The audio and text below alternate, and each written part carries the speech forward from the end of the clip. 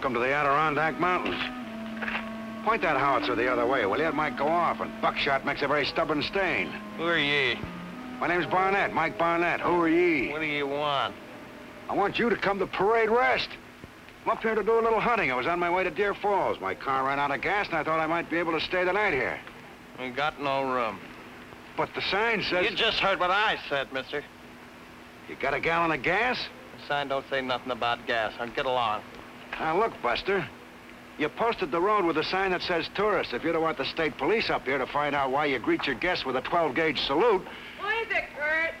Fella says he wants the room. I'm out of gas, ma'am. Well, let him have a cabin. Come on. I said let him have it. Thanks, ma'am. The sea gets out of here first thing in the morning. Okay, mister. You heard. I'll put that away. That's ten dollars in advance.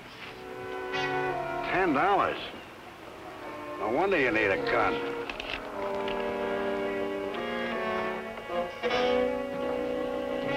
Room needs doing. Ain't had trade in two or three weeks.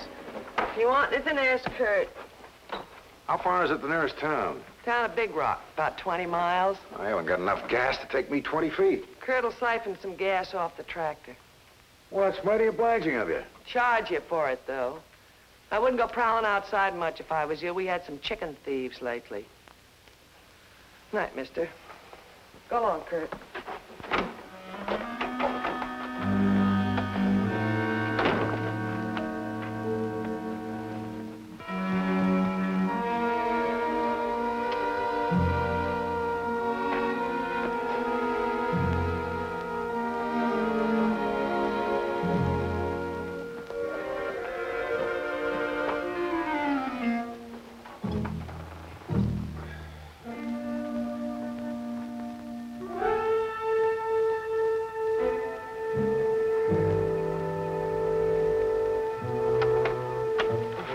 Sorry I took so long, Ethel. I just couldn't...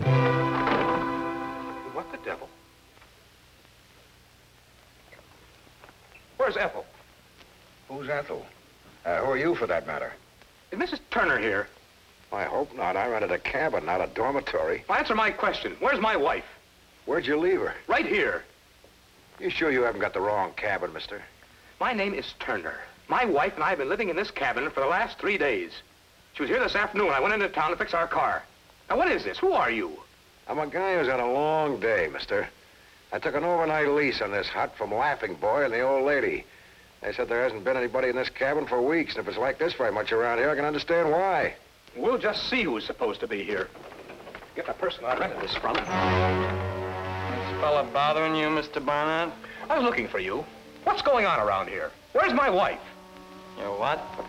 This gentleman seems to think I've either got his wife or his cabin, or both. Mrs. Turner was here when I left. I come back here to find her gone, and you rented our cabin to this man. You know this fella? No, I don't. Oh, but you know me. Mister, I never seen you before in my life. You better get. Oh, listen, my name is Leon Turner. My wife and I have been living here for three days now. Don't you remember? Look at me. You either got the wrong place or you up to something. Now you get. I'll show you that I've been staying here. My suitcase is. Well, my clothes are... What? Well, where are my things?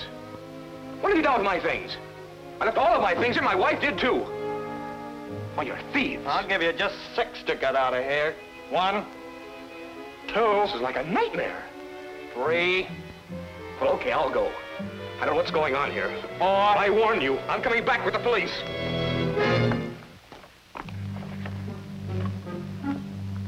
Crazy people. The World's just full of crazy people.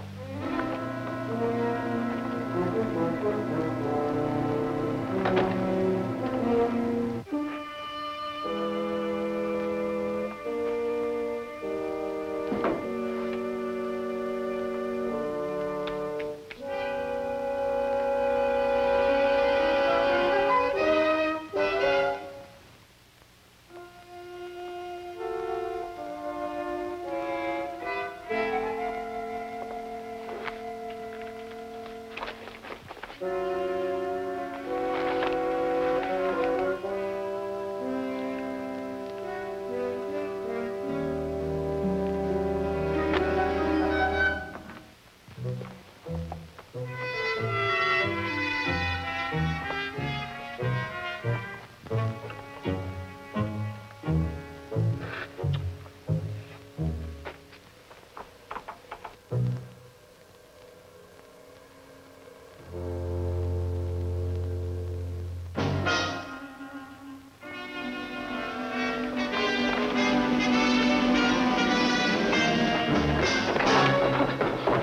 luggage you come back for this time? Mine? I came back for my wife. What have you done with her? I'm sure your wife's a very charming woman, and all the boys are trying to steal her, but and this is no reflection on your wife. I came up here to relax. I believe you're in this with them. I'm a private investigator. If you really are, why don't you help me? I can pay you. You say you and your wife have spent the last three days in this cabin? Yes, we did. We're on our way to Canada on a fishing trip. Just stopped off here because I heard there was a nice, nice stream down the valley. The old lady said nobody'd been in this cabin for the past two weeks. Well, she's lying. I think she is, too. But before, you thought that I was lying. I found this newspaper with yesterday's dateline on it. Well, of course, I put it there. And I also found some freshly spilled face powder in here. And a long black hair. Ethel's brunette. When did you last see your wife? Well, just this afternoon, I took the car into town. When I came back, well, you saw what happened. Gone, vanished. They've got her. These people have got her. Have you got a picture of her? Well, of course, in my luggage, wherever that is. Haven't I seen you before? I don't know. You might have. We're in, in show business, Ethel and me, hoofers. May have seen us someplace, caught our act. Yeah, maybe. Is there a phone up at the farmhouse? Hmm, yes, but there's also that, that grinning idiot with that scatter gun. I'm not going to go All right, there. all right, all right. Where's your car? It's up on the main road. All right, you go into town and get the law. And you're going to help me? I'm gonna try to get to the farmhouse to the phone. You better get to town anyway. You're not safe around here. Now beat it before Kurt comes down here and shotguns you full of blue whistlers.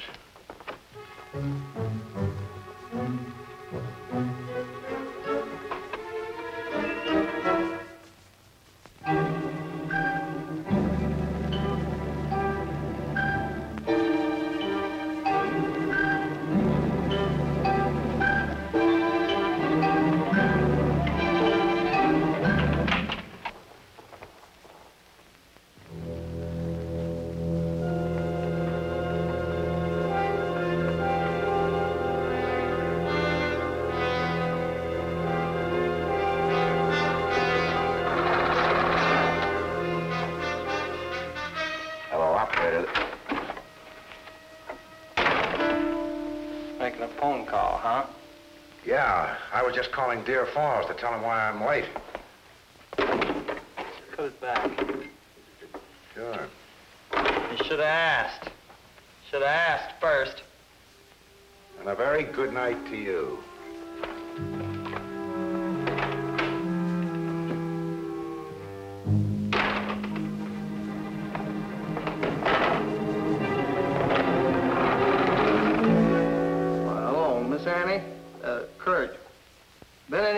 From here? No, there was a fella trying to use the phone without permission. A York City fella. Good night.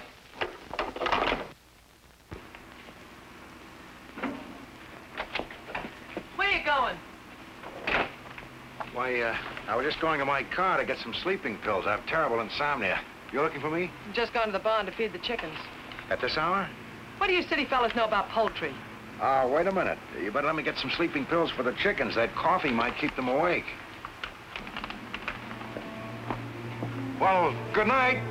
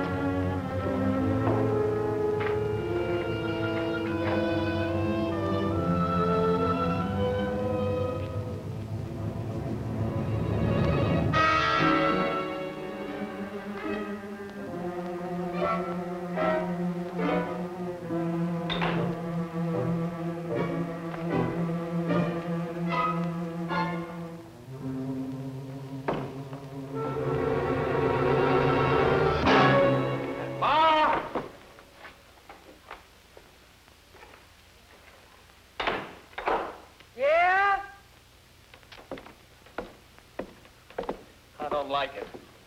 We ought to get rid of her. Shh, She hear you. You're crazy to get in this.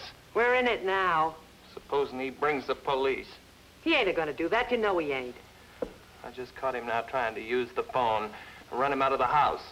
He went out to his car to get something. Well, he was using the phone without asking Oh, first. Stop gabbing let's get back to the house.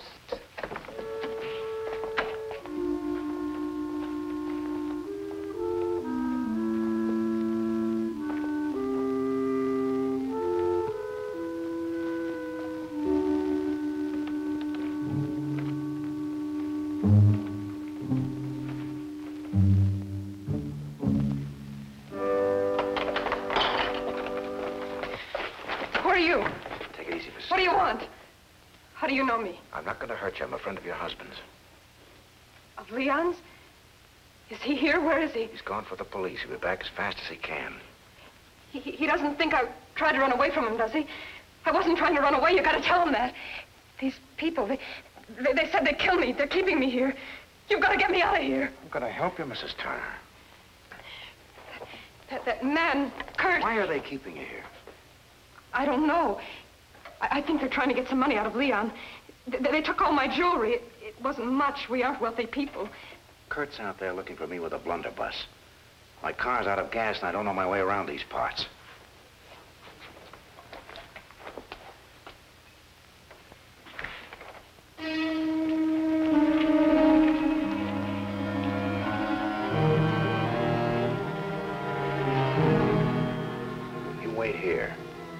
Don't let anybody know you've seen me. Leon should be back with the police pretty soon. I'll go back and play stupid, okay? Okay, You can do it? I, I think so. Good girl.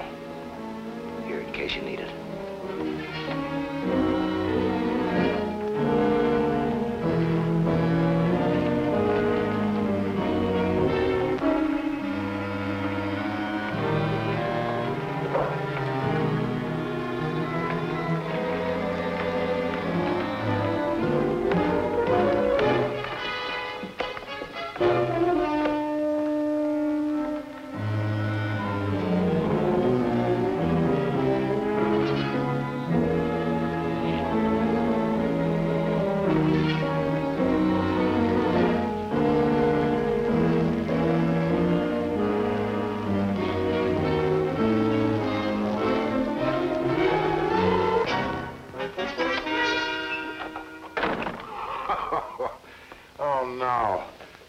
Don't need a guard.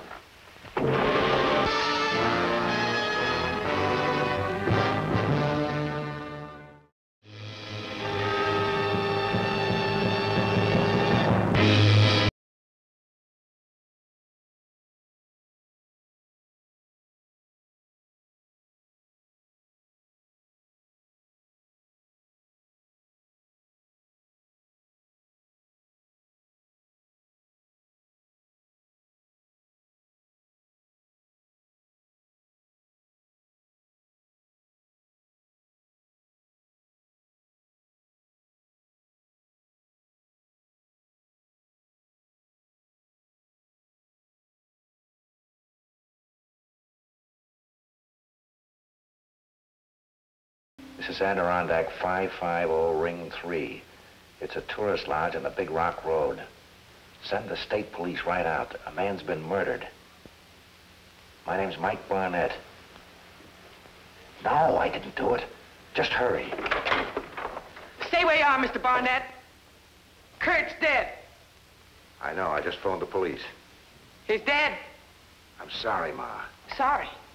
You're sorry you stuck a sickle in his back? You think I killed him? He was laying in your cabin. Ain't nobody else could have done it. Now, wait a minute.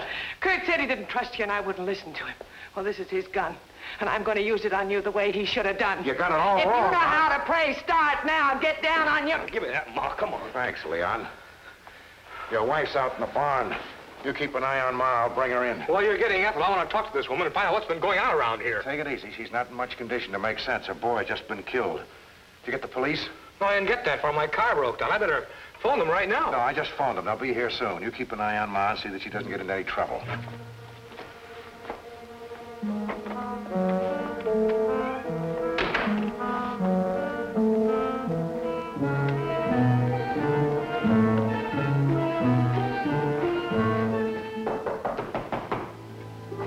Who is it?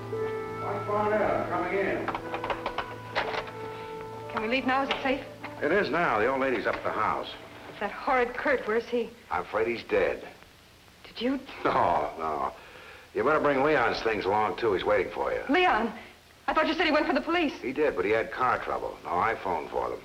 Is this all the luggage you had? Yes, they, uh, they locked everything in here with me. I, I, so, so no one would find it and get suspicious, I guess. Suspicious. Of an evening dress? That's mine. What's so odd about it? Nothing in New York. A little out of place in the Canadian woods, you'll have to admit. Well, we, we planned on stopping off in Montreal for a couple of Wearing a days. modest collection of jewelry, which you brought along on your fishing trip? Yes. In fact, the only things you neglected to bring along were some outdoor clothes and some fishing gear. We, we left that stuff in the car. Not all of it. What do you mean? This your tackle box? That's quite an assortment of lures. Now, what kind of a fish would bite on these? Suckers. I'm going to leave this place gun shy. Don't be so optimistic. Put that stuff back. Drop in the suitcase. Sure. Anything to oblige. Shut up and turn around. Put your hands up. That diamond sunburst looks familiar. It could be the Wilkerson robbery in Boston last week. You read the papers, don't you? You're carrying around about $60,000 worth. That could bring about $20,000 if you know a good fence, and I'm sure you do. I'll do all right. I could return it to the insurance company and get a nice fee. You're not returning anything, Mr. Barnett. Your last fee is going to be paid off right now. By the way, thanks for the gun. Don't mention it. If you're a real nice girl, I'll even return the cartridges to you. I said I was going to act stupid, not be stupid. I don't believe in harming an hysterical woman. But listen, Barnett, I'll make a deal with you. I can still fence that stuff. No deal. I'll let you take all of it. Just keep Leon away from me. What do you got against Leon? He's been looking all over the place for you. He'll kill me. You're partners, aren't you? He planned the whole thing. I, was holding the stuff for And you decided to do a vanishing act. You're right, Leon won't like it. Barnett, he'll kill me. Come on, Mon, laughing boy. How do they figure? Oh, they're just a couple of yokels. I told them Leon was no good, that he beat me, and they offered to hide me till I could get away. Okay, baby. Save the rest of it for the cops. Come on, let's get out of here.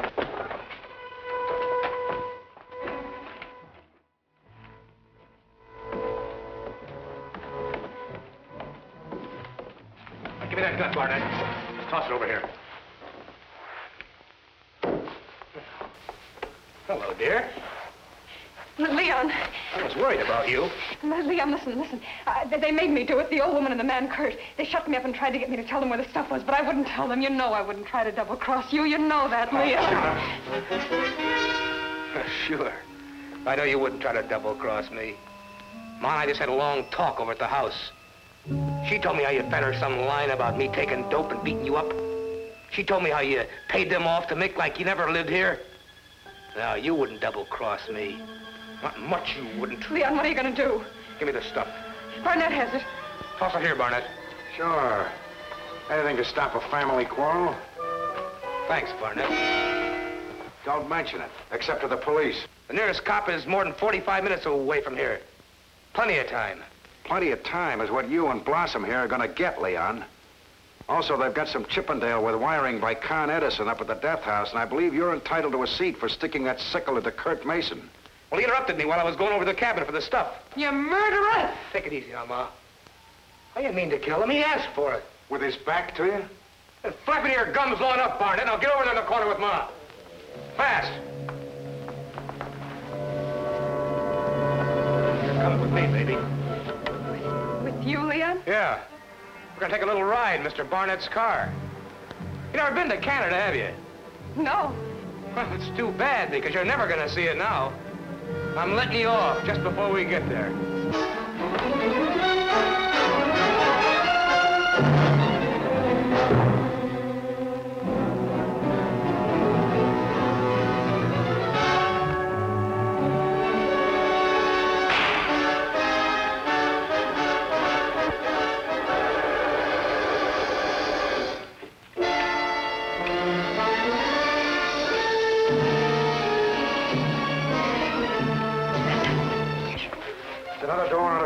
Boarded up. We can't get out. What about this bulldozer? Does it work? Yeah, Kurt rented out to the highway people last week for some road grading. Let's give it a try.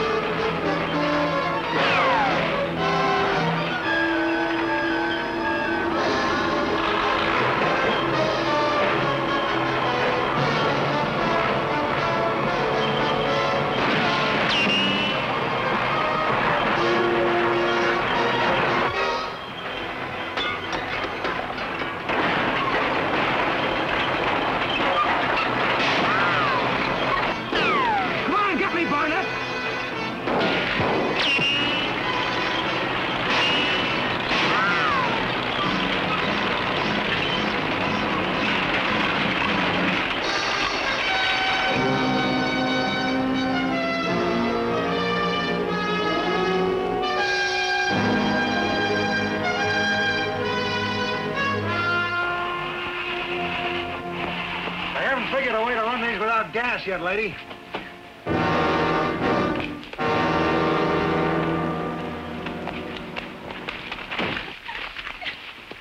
Are you Barnett? Yeah. We got a call. What seems to be the trouble? A few casualties with a sickle and a gun and a bulldozer. We need a little first aid and a coffin.